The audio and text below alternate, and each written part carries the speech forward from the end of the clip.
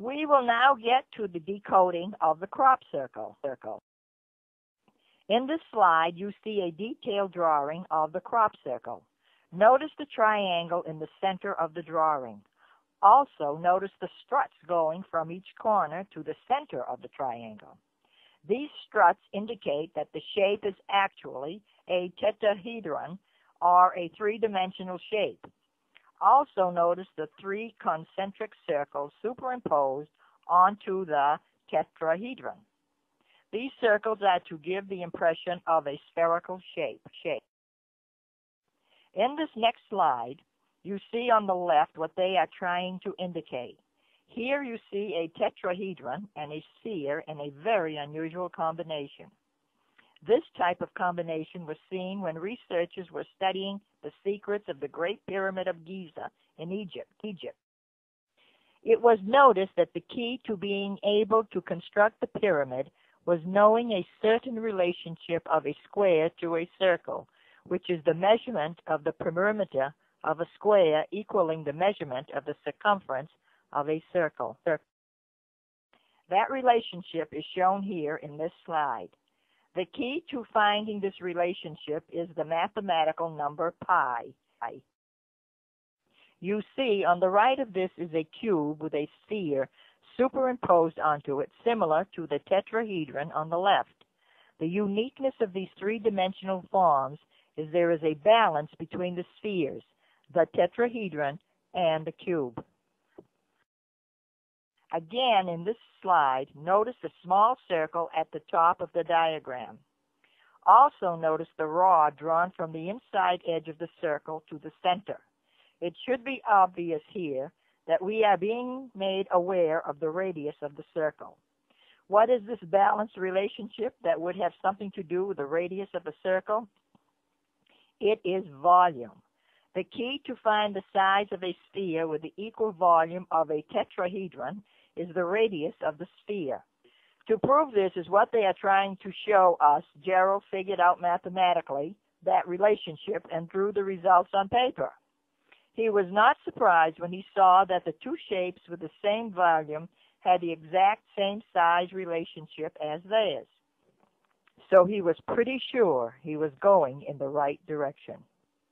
We have established that the symbolism here is sacred geometry, in teachings of sacred geometry, there is a progression of 10 shapes shown here in this slide. If you notice, the third shape from the left is a triangle and the fourth is a square. Also notice that the fifth is a pentagram. In Kabbalistic sacred geometry, it is taught that each age or dispensation in time is related to one of these ten symbols. As time goes on in the physical plane, the symbols progress forward, but in the spiritual, it goes backward. We are now spiritually in the fourth symbolism of the square. We are in the dispensation of the Judeo-Christian age. In the last dispensation, we were in the symbolism of the pentagram and were spiritually in the age of the pagans. In Kabbalah, it is taught that a straight line symbolizes time and also male energy, and that a circle symbolizes eternity and also female energy. The tetrahedron is made up with lines and is all male energy. The sphere is made up of curves and is all female energy. The symbolism of a tetrahedron with a sphere superimposed on it with the equal volume indicates the balance of male and female energy and also the balancing of time and eternity. Gerald felt at this time that the beings were trying to show that we are about to enter the next dispensation or age symbolized by the tetrahedron and that we are at the crossover point between ages. A few minutes ago, it was said to keep in mind what was said about the cross between ages. It was said that in a metaphorical sense, the etheric realm represented this crossover or balancing. When the being was speaking through Betty and was saying counting three and four was very important, Gerald wrote in his book that he felt the being was trying to get our attention to the etheric realm. He wrote that three and four meant the third and fourth dimension. The third dimension being the physical and the fourth the spiritual. That the ether is the doorway to the fourth dimension. If all these assumptions are true, then the rest of the crop circle symbolism should indicate this. This. Looking at this diagram again, notice the small circle at the bottom of the drawing. In this circle, Gerald recognized the spiral shape as a Fibonacci spiral, but it has sort of an unusual ratchet effect in it. In it. The famous Fibonacci spiral is shown here in this slide. Leonardo Fibonacci, a medieval mathematician, noticed a particular order or sequence that plant life utilized to grow and discovered that this particular ratio kept coming up everywhere. The sequence is 1, 2, 3, 5, 8, 13, 21, 34, 55, 89, 144, and so on. This sequence generates a spiral like the one shown. The reason this pattern shows up consistently in life originates in the golden mean spiral which goes in and out forever, without beginning or end. Life doesn't know how to deal with something that has no beginning because there is nowhere to start. So this sequence, which has become known as the Fibonacci sequence, is life's solution to that problem. The golden mean spiral is shown here in this slide as it was spiritually visualized by ancient sages. It is the path or flow that matter takes which makes up the universe. The bright glow in the center is the fires of creation, where the ether is transformed into matter. In the discipline of Kabbalah, it is known about this spiral of the universe, but it is thought of only in a metaphorical sense, similar to the snake swallowing its own tail. Gerald has meditated in this area and has been able to bring the spiral out of the metaphorical stage into the realm of physical science. This next slide shows a drawing of how Gerald visualizes the universe.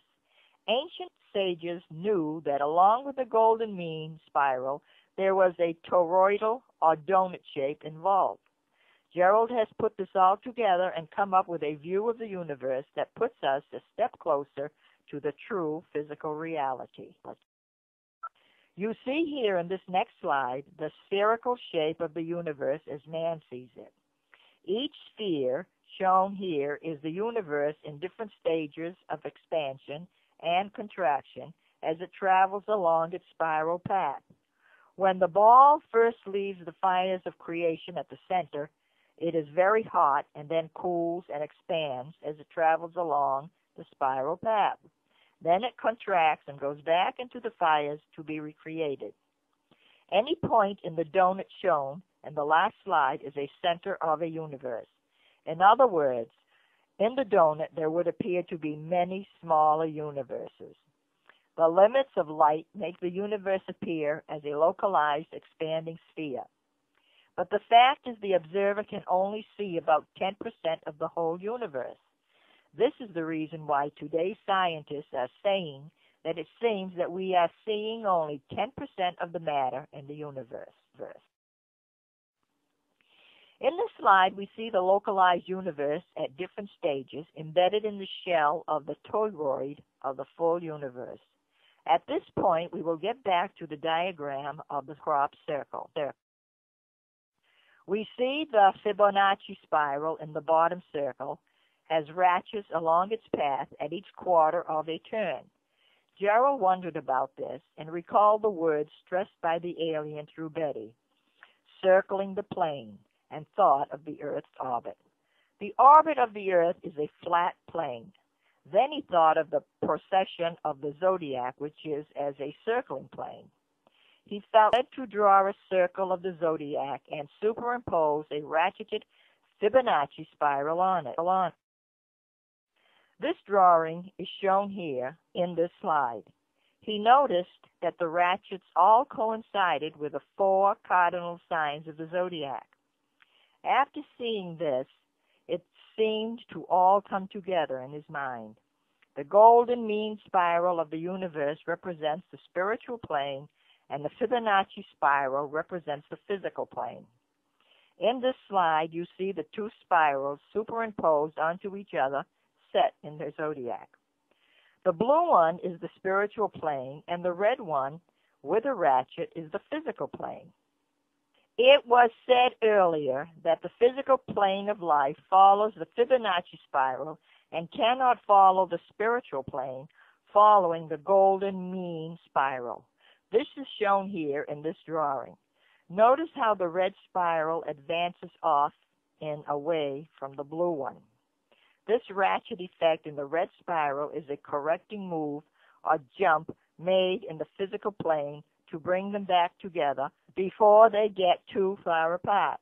If you notice the jump happens every 6,000 years or at each cardinal sign of the zodiac. What the crop circle symbolism is saying is that there is a crossing over to a new age and there is going to be a realignment or correction in the physical plane. If this is true, then 6,000 years ago there had to be a correction and 12,000 years ago also. According to the Bible, the biblical flood happened 6,000 years ago, and scientists say that there is evidence that the earth shifted on its axis 12,000 years ago also. It is believed that this is when Atlantis sank. Going back to the diagram of the crop circle, you see on the right there is one more small circle to decode. What you see here is sort of a pinwheel effect.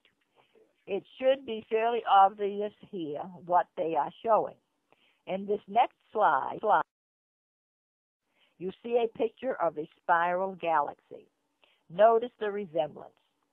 What they are saying with this symbol is that Earth is coming out of the age of the sun, which had to do with the pyramids, and are entering the galactic age. age. Notice in this slide the tetrahedron on the top and the cube on the bottom. The knowledge of how to sphere a cube led to the construction of the pyramids. This brought us from the pagan age to the Judeo-Christian age. A pyramid like the one at Giza has a triangular shape and has five faces. This gives us the numbers 3 and 5. Now, dividing 3 into 5 equals 1.666. The tetrahedron shape, which symbolizes the galactic age we are entering, is a triangular shape and has four faces. Remember, counting 3 and 4 was so important. If you divide 3 into 4, you get 1.333 we are leaving the physical age of 666 and entering the spiritual age of 333. The age of the sun is the age of explosion and separation ruled by wars and violence. The age of the galaxy is the age of implosion and coming together ruled by peace and harmony. Thank you for attending this presentation.